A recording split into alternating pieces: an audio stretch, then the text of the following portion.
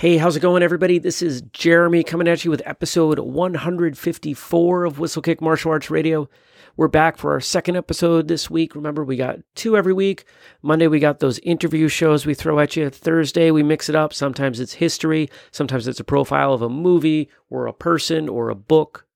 Today, it's going to be our second installment of the question and answer format we really, I really love doing the first one. We got some good feedback on it, so we've collected some more questions. And that's what we're going to be throwing at you today some answers, some of my answers to your questions. If you want to throw your questions at us, maybe have them answered here on the show, best way, email us info at whistlekick.com. Put the subject Q&A in, in your email and we'll get that into the right folder and we'll get it answered on the show here as long as it seems to make sense and you know, up until the point where we're getting too many that we can't answer them all. Hopefully that doesn't happen for a little while. But anyway, moving on. If you want to check out more about what we do here at Whistlekick, there are a number of websites you should be familiar with. The first one, whistlekick.com. You know, we talk about that all the time. That's where you can get our sparring gear and our apparel. And that's really the hub for everything that we've got going on. The website for this show, whistlekickmartialartsradio.com. You can check that out, past episodes and all that you can see the show notes, photos, videos. You know, a lot of times if you're listening to something, you don't quite get the full effect, but for every episode we do, especially the interviews, you know, there are pictures, sometimes video of the people that we talk to. So if you head on over to the show notes, you can check out what they look like. Sometimes they look completely different from what you might expect. Other times, maybe you've got a really good mental picture. Who knows? But, anyways, check out those websites. We've also got wholesale.whistlekick.com and if you're just kind of popping around the internet, you know, you might bump into a lot of other sites that we do memes, uh, martialartsmemes.com. You know, we've got that site and a, and a bunch of other little stuff just because we're trying to put out good content. You know, we want everybody to enjoy being a martial artist and have entertainment and knowledge around their pursuit as a martial artist.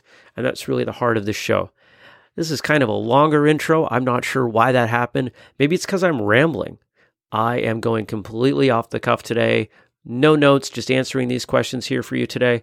So hang on, let's get into the first one. Now, this first question comes in and it says If the newer forms, it says here katas, if forms a student learns contains more complex and advanced movements and sequences, why continue to work on the old ones? And if you're an instructor, you've probably had students ask you this question. You know, why do I have to go back and work on Chon-Ji or Pinan Shodan, Heian Shodan, Tekki Shodan, uh, Form 1? You know, there's a lot of different names for those initial forms that end up being rather simplistic. And as we progress forward, yeah, they get harder, almost constantly harder.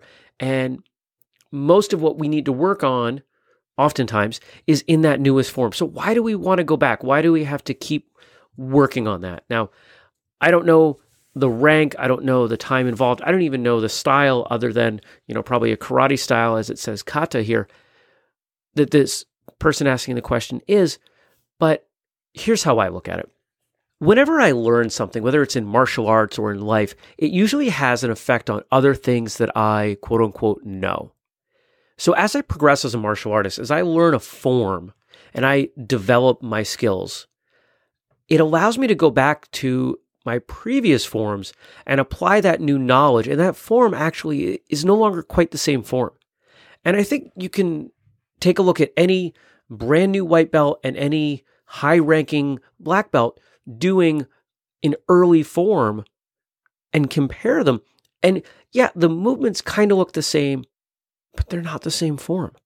Just as a professional NASCAR driver is not going to drive the way that I do, or a professional dancer handles dancing versus, you know, what goes on in a club on Friday night. You know, it's just, it's a completely different experience when you have knowledge, when you're able to embody that knowledge and translate it into your physical action. So, why do we continue to do forms and why do we continue to do the old forms? because there's more to pull out of them. The more knowledge you have, the more you can embody. And that's probably the best word I can think of that form. And as we embody those forms, that's where the magic happens. You know, th- I'm not going to turn this into a, a episode about forms frankly, I, I get frustrated at that back and forth argument. But the better you're able to live and train within the context of that form, the better a martial artist you're going to be. Hope that answers your question. Question two What's one thing that all martial artists could do to improve?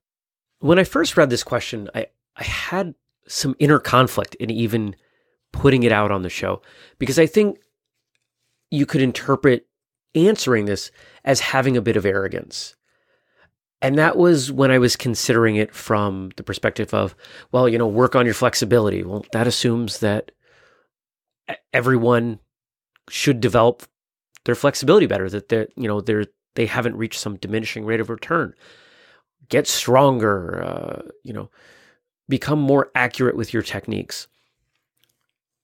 But then I hit on the answer that I find I'm giving everywhere I go. And it's something that I don't know you can ever develop too much of. And I don't know that there's ever a diminishing rate of return on it. And that's intensity. Whenever I see someone who is able to put intensity or realism into their movements, I see someone whose martial arts overall is good.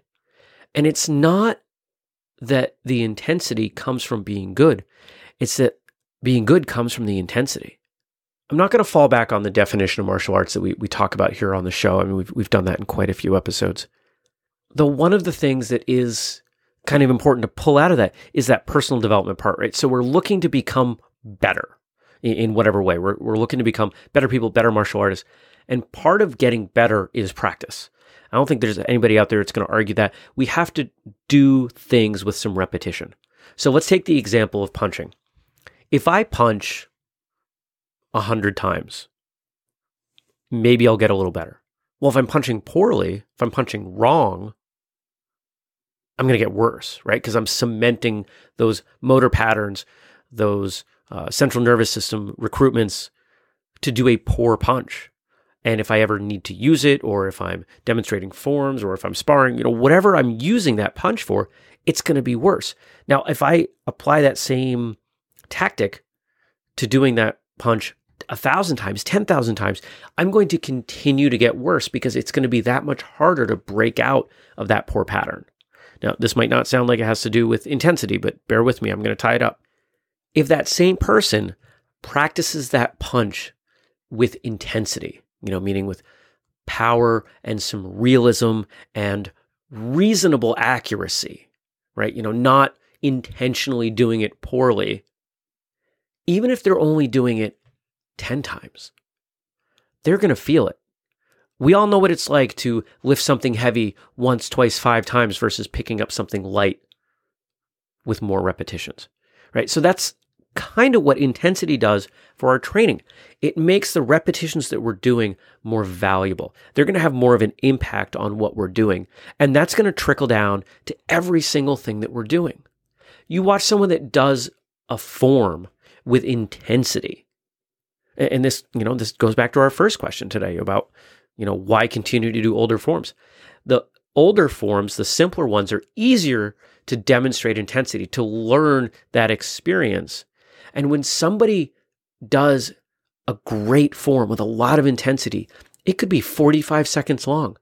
And they may be sweating and panting and exhausted because you just watched them act out a battle and they kicked some butt. They won. They demonstrated that. So, what could all martial artists improve? Their intensity, because I don't think there's a point where it's not worth working on. Question number three I find sparring overwhelming. How do I get better? Well, I've got a couple things that you can you can try. So again, I don't know the rank of this person. I don't know a lot of their their circumstances or any of their circumstances in this case. But I can infer some things about them. People that get overwhelmed by sparring eh, tend to not enjoy sparring as much. They tend to be smaller. They tend to be newer, right? I mean, not not universal, but we can probably guess there's some lack of confident experience with their sparring. So, what do we do when something is difficult? We break it down. I mean, that, that's kind of the way in martial arts, right? So, how do you break down sparring? I've got three things that I love to recommend, and I'll go over them here. The first one, I've talked about this on the show before. It's the thing that I wish all schools did, the thing that I think makes it so much easier to bring together all of our training, and that's slow sparring. The idea of sparring such that striking is not the focus, but blocking is. Go so slowly with your partner that if any strike gets through, you were going too fast. A lot of magic seems to happen for people at this speed. They're able to think at a, a speed where their reactions just kind of line up. You know, you can see what's coming, you can think about what to do, and you're fast enough because your opponent is moving slowly enough. Maybe I should say partner, not opponent. That you can make the block, you can make the counter, you can do what you want to do. And as you practice that, you can increase the speed. Slow sparring can become a little less slow sparring to moderate sparring to regular old sparring. But for a lot of people, just jumping out there, even if it's not a, a rank differential, even if you're not a white belt working with a black belt, some people just pick up sparring slower than others. So to have this drill to fall back on, I think is a really good thing.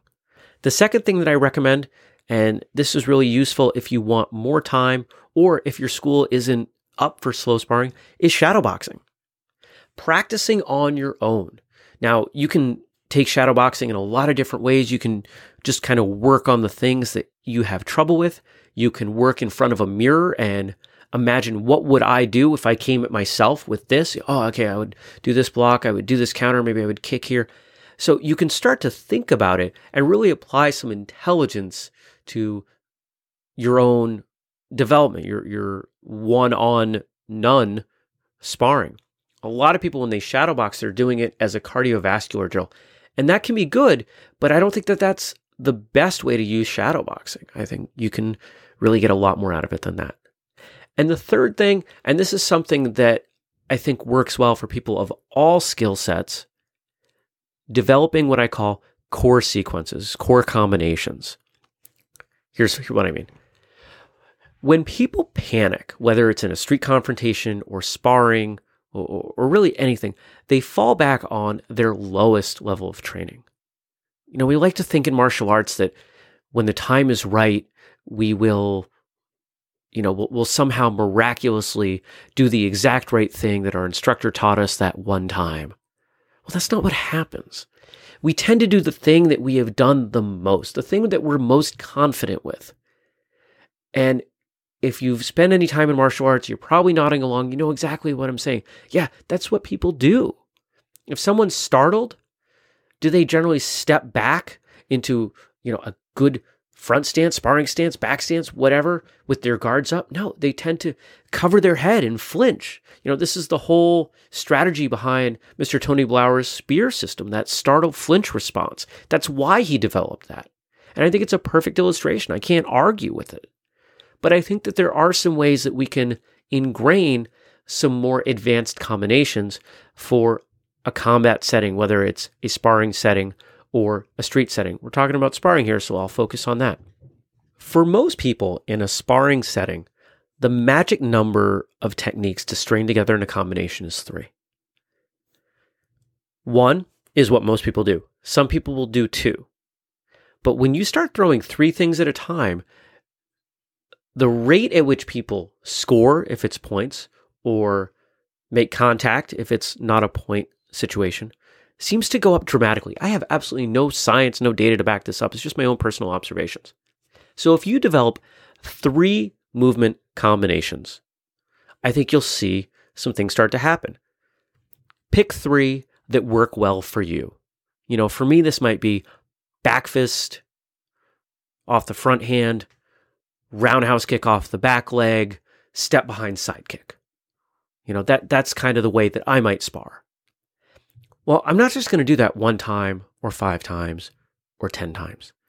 I'm going to do it 10, 20 times a day, maybe multiple times per day until I almost struggle in a sparring situation that when I throw that back fist, that I don't throw a roundhouse kick. For some of you out there, round kick, turning kick, you know what I mean, right? mawashi geri. I want to beat that sequence into my body so it becomes automatic. So that when I see an opening and my body instinctively goes for that back fist, I just keep moving with it. Once I've got one down, I'm going to add a couple more. To have three, five, ten of these sequences really seems to work well for people. It's something that I've experimented with personally and in training people, and I see some benefit from it. So, those are my three suggestions slow sparring, shadow boxing, developing some core combinations. And our last question for today, question number four. My school doesn't teach any martial arts weapons, but I want to learn. What can I do to learn on my own? Well, I wish every school would teach weapons at least a little bit. I know that not every school has the knowledge internally, but I think that there's benefit for people to externalize that training beyond their body. There's a saying amongst most martial artists that train with weapons that the weapon is really an extension of yourself. So there's additional knowledge of how the body works and of how you train as you're training with weapons. Plus, let's face it, they're fun. And depending on what you're training with, it can be really applicable. My personal recommendation for starting with weapons is really the weapon that most schools start with. It's it's the bo, the staff. Now, if you don't have the knowledge or someone to teach you, if you don't have the space in your home, training with a bo, which traditionally is supposed to be taller than you, can be kind of tough, right? So we can just think about sticks in general because they're simple. First off, they're not bladed, they're not pointy. So there's less risk to you, to your family, your walls, your pets. All these things matter when you're training on your own because you probably don't have your own large, purposefully designed workout space at your home. Maybe you have access to one and that's fantastic, but my recommendations are still going to apply. When we think about sticks beyond the bo, we're talking the jo, the shorter bo, or a kubotan, you know, a, a small length stick that often is attached to the keys. Uh, Eskrima stick. I mean, you can start with one. There are some basic movements that you can learn fairly simply online. Now, I'm not a big fan of online training because I think it leaves a lot to be desired, but if you're already training at a school and you're you're learning the way that martial arts should be taught, I think there's some things that you can gather from watching videos online. And let's face it, if you've got a stick however long it is, there's only so many ways that you can manipulate it without hitting yourself in the head. Now, of course, if you're looking to use this for self defense purposes, and some people that are learning Kubotan or, or an Eskrima do want to learn it for that purpose, that's going to be a little tougher because maybe you don't have a person to work with. And the moment you start bringing another person in, the idea of learning for from you know an online video my recommendation doesn't become nearly as strong but if you're you know let's say you want to learn how to do a form with a, a staff you can pick that up fairly well and if you've you know achieved some rank you know maybe you're some kind of middle to upper rank in another martial art you're going to be able to translate that out with some practice so you know is that a perfect solution absolutely not What's another way you could do it? You could seek the advice of your instructor for training somewhere else. If your instructor is not cool with that, I, I very lightly would suggest maybe that's not somebody that you want to train with, but I'm not going to tell you flat out to leave your school because if you love the school, if you love the people and everything else, but this works for you, well, then maybe you've got to make a compromise here with the suggestion that I made already. There we go. Four more questions. My thoughts on the answers. What did you think of my answers? What do you think of these questions? Do you have some advice that's completely different, or maybe you want to add on to the things that I've said? The best place to leave those comments, whistlekickmartialartsradio.com. From there, you can sign up for our newsletter. You know, we're always talking about that newsletter. We send it out really just a couple times a month. Sometimes we send out coupons for stuff. Sometimes we make announcements like the last episode, episode, the last issue, we dropped an announcement on an upcoming course that some of you may know about. I'm not going to get into it any more than that, but watch, there will be more information really soon. And we tell you who's coming up on the show for interviews. We usually have a few in the can and we let you know, hey, who's coming up, and sometimes we even tell you what dates so you can wait for those and be excited. Check out whistlekick.com for everything we've got going on over there. And if you just want to hang out with us, get to us on social media YouTube, Pinterest, Instagram, Facebook. That's our primary. Uh, what am I missing? Twitter. You know, we've got all those. If you want to email me directly, jeremy at whistlekick.com. Thanks so much for listening. I hope you have a great day. Send us in some questions for issue number three of this Q&A format. Until next time, train hard, smile, have a great day.